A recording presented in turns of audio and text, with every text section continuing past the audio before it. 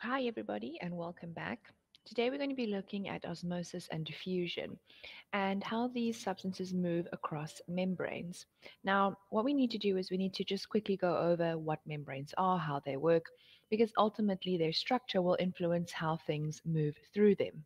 Now, cell membranes are differentially permeable, so essentially it means they can tell the difference between the substances that are trying to move through it.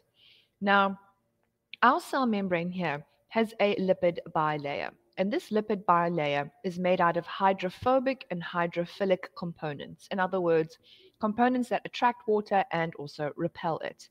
Now, water is a unique substance in that it has almost like a, a privilege in easily moving into the cell. And basically, what happens is that if water moves from the outside of the cell, it's attracted in towards the hydrophilic side of our biolipid layer.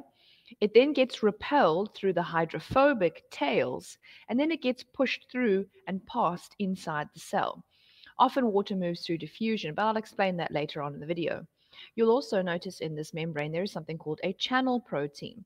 Now, there are many different kinds of channel proteins, but essentially they are proteins that are embedded in the bilipid layer and they allow only certain substances to move through this space. You have to be the right size and the right shape, and this is where that whole selectively permeable or differentially permeable aspect of a membrane comes in. What's also important to note is that water is small enough uh, to move through our cell membrane. But not all other substances are small enough. And that's often why we need channel proteins to assist them through, or sometimes we even need to add energy to the process in order to force them across the membrane as well. Let's look at the first mechanism that we use to describe how substances move and that is through diffusion. And this is when a substance will move from a high concentration to a low concentration along a concentration gradient. Often, what we have is some kind of solute that you can see here in the diagram. And this solute is something that has been dissolved. In this instance, we are just dissolving perhaps like a salt in water, but this could also be applied to, for example, how gases move through a space. And essentially, they will always move from a high concentration to a low. And the reason for that is that the particles start off being really close to one another and they don't want to be close to one another. They want to evenly distribute themselves out. And so the aim is to reach an equilibrium. Now, diffusion is a passive process. In other words, this process will occur on its own. It requires no other external stimulation, which also means it requires no energy. And often we use diffusion to describe the movement of gases or solutes. You probably have heard about diffusion when we speak about how carbon dioxide and oxygen exchange in the alveoli, and that's through diffusion as well as how solutes may dissolve and then distribute when um, stirring in something like salt into water. I felt it also important to point out something called facilitated diffusion. And essentially, what this little picture is showing is that there is a high concentration of substances on the outside of the cell and a concentration, a low concentration on the inside of the cell. The problem is, is that normally these substances are too big to move through the membrane on their own. And so they can't fit through these small little spaces in between the lipid bilayer. So what they need is some kind of channel protein that assists them through. But it's important to know that this is still passive and it's more selective in what can and cannot move through these specific channel proteins.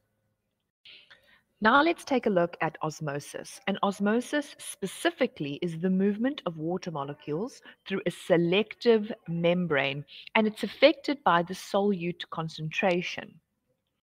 Now, in tests, it's important to note that osmosis is a type of diffusion, and water is the only one that gets its own name, and that's because water has a lot of membrane privileges in the way it moves and where it can go and where it can't go. And so, if you're asked, you need to give the word osmosis. You cannot simply say the diffusion of water. Now, osmosis is a passive process, which means it also follows a concentration gradient. However, what's really important is that it follows the concentration gradient of the solutes.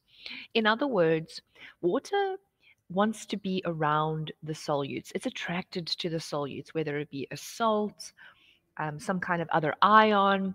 Water will move towards that because it wants to dilute it. So let's talk about what we can see in the diagram in front of us. Now, there's a lot of terminology associated with osmosis. The first thing we need to talk about is water potential. And if we look at our first diagram, we have a beaker of water, and we have inserted a membrane that sits now down the middle, and that's what this dotted line is. It's a selectively permeable membrane. Now, on the one side of our liquid solution, we have a high water potential, which is represented by these pink smaller dots. On the other side of the membrane, there is a lower water potential. And the reason for that is that the purple dots represent the solutes, whereas the smaller pinker dots represent water. Now, what's really critical here is this. The solutes are too big to move through the membrane, the dotted line. And so water does all the moving. It moves via osmosis. And this is really critical for explaining osmosis. And when we look at uh, osmosis and the movement of water, we have to talk about a few concepts. The first one is something called hypotonic. Hypotonic means that it is a solution that has a low solute concentration and a high water, uh, uh, water concentration. Another word that's associated with this solute and water is hypertonic. Hypertonic refers to the opposite. It refers to a high solute concentration and a low water concentration.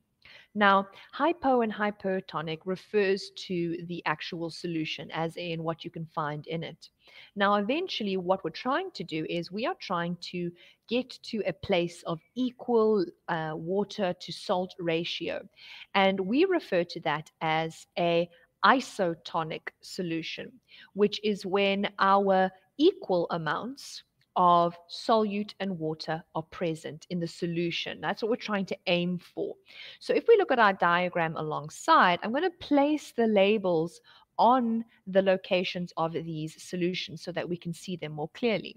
So if we start off with the original diagram, we have a hypotonic solution on this side of the membrane, as you can see, which means it has a low solute, high water, which is those water molecules are all of the um, tiny little pink dots.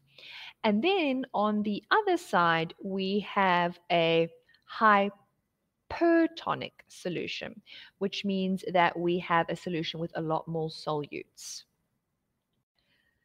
Now, if we take a look at what has happened, if we were to just leave this um, liquid inside these beakers, what would happen?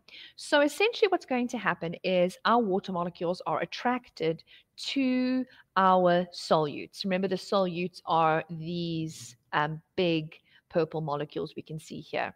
And basically what we're aiming for is a solution that is isotonic.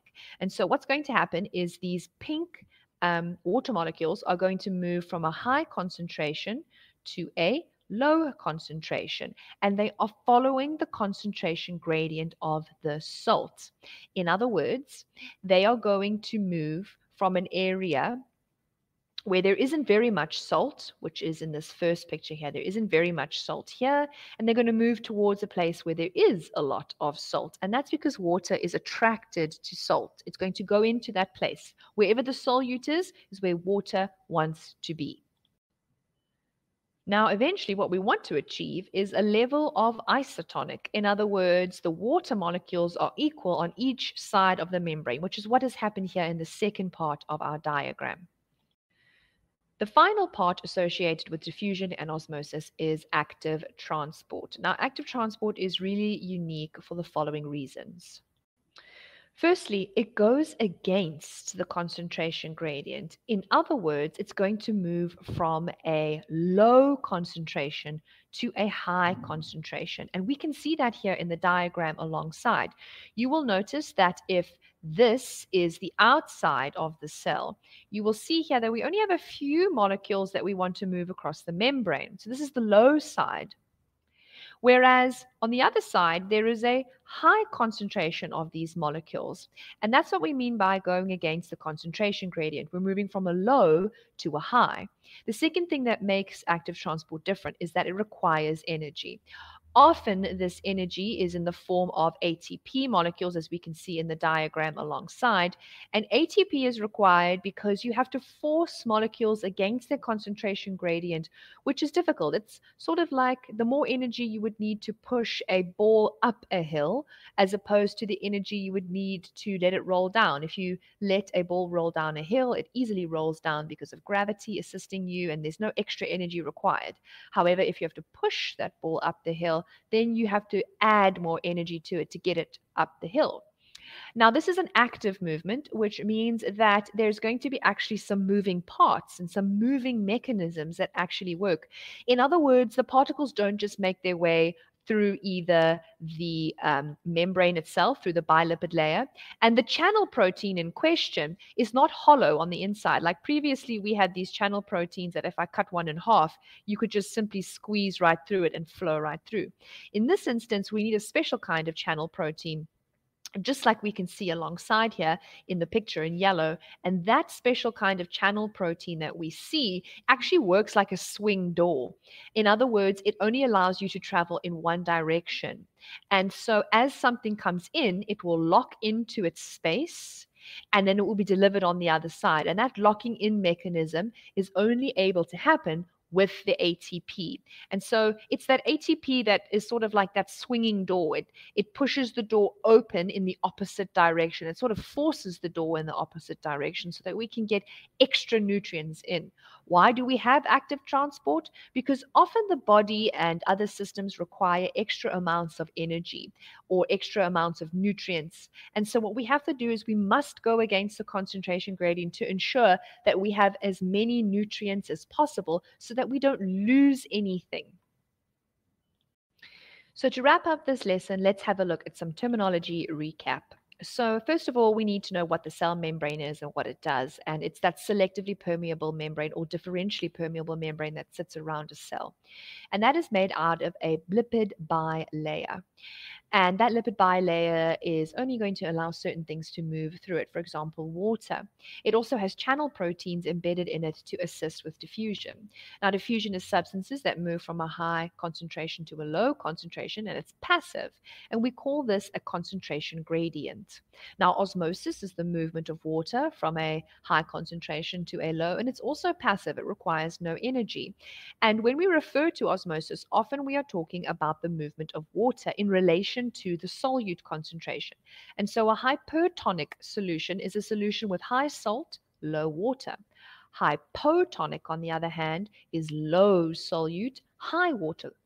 And isotonic is equal. That means water and solute levels are equal on both sides of the membrane. We also spoke about water potential, which refers to how much water has been used in that particular solution. In other words, if you have a high water potential, then you will have a low solute concentration. And so they work in opposite of one another.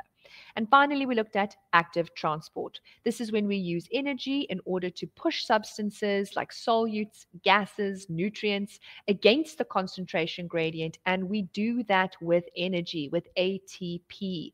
And this may require the use of a channel protein. Thank you again, once again, everybody, and I hope that you enjoyed the video. See you again. Bye.